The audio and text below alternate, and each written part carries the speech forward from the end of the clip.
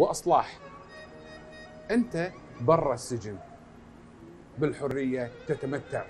لكن ترتكب جريمة راح يكون مصيرك داخل الزنزانة بالسجن المركزي. شاب مهندس يحلم إنه يكون شيء كبير لكن أخطأ. وقاعد يدفع الثمن والثمن غالي جدا جدا. أرحب فيك مهندسنا حياك الله. شو اللي جابك هنا داخل السجن؟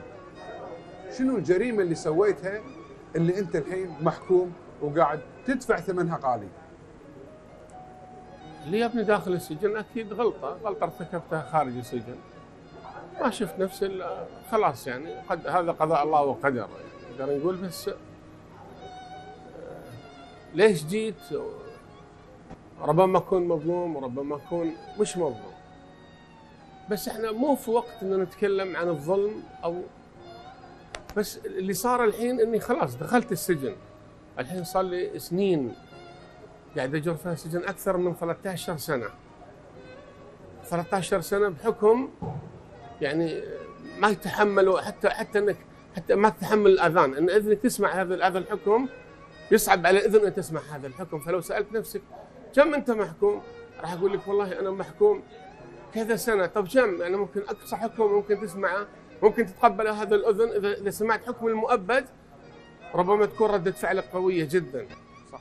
فما بالك لما تسمع بإنسان محكوم أكثر من 285 سنة كم كم كم؟ 285 سنة 285 سنة أنت عارف شنو قاعد تقول؟ أنا عارف شنو قاعد أقول. شنو شوف 285 حتى سنة؟ الأذن- حتى أذنك أنت ما راح تتقبلها الأذن ما تتقبل حكم المؤبد فما بالك بحكم 285 سنة لشخص تجاوز 57 سنة الحين. صار له أكثر من 13 سنة في السجن.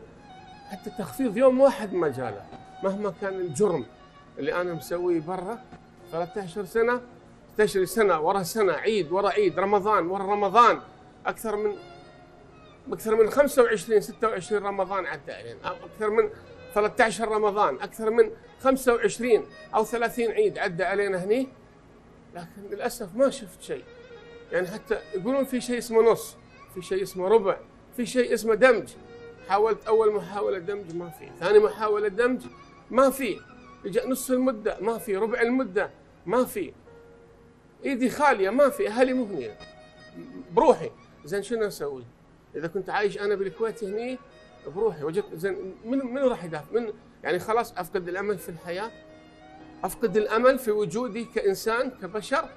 لا ما يصير يعني أنا غلط مهما قلت لك أنا بريء ما راح تصدقني اللي صار اني أنا انحكمت وخلاص السجن هو عبارة عن فترة عقوبة يقضيها الإنسان داخل السجن ومن ثم يخرج ما في إنسان اجى في يوم من الأيام قال لي وين عيالك؟ وين عيالك؟ أكثر من 13 سنة عايش بالسجن. ما في واحد ما في واحد طلب وجهي نهائي. ليش؟ ليش؟ ماني ماني ماني إنسان ماني بشر ماني لحم ودم. ودي أشوف عيالي. ماني مالي نفسي أحتضن عيالي. بلى.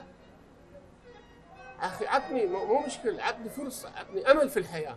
ما في. حدد لي فترة اعيشها يقول لي راح تقعد في السجن يا سيدي 20 سنة. الحين صار لي 13 يعني باقي سبع سنين. إذا الله سبحانه وتعالى أعطاني عمر خلاص يعني راح اشوفهم مو معطيني أي نوع من الأمل في الحياة نهائي.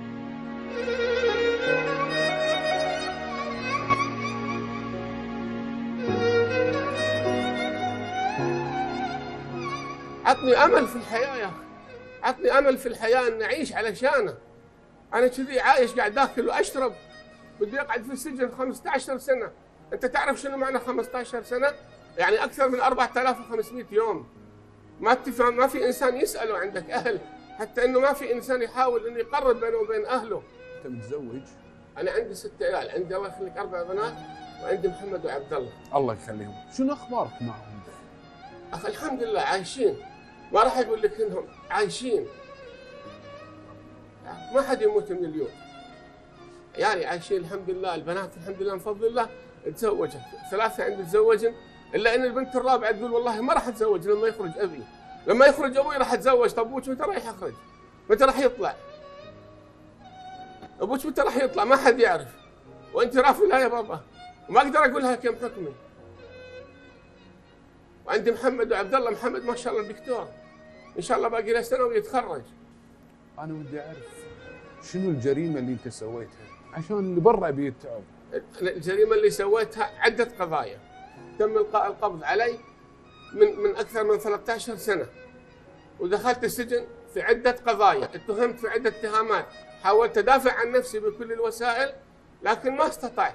ما في محكمة بالكويت إلا دخلتها. بس لا شك إنك أنت ارتكبت جرائم. أنا ارتكبت.